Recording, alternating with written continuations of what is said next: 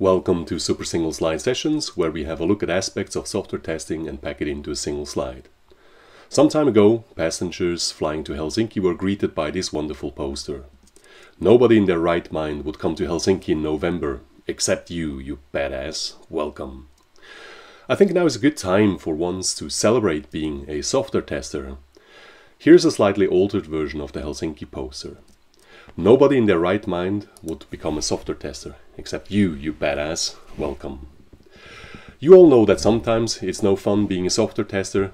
Yes, it is a profession that you chose for yourself. Let's feel good about it. So many times somebody thinks testing is easy. So many times somebody thinks testing is for the failed people. So many times somebody accuses testing of making the project late.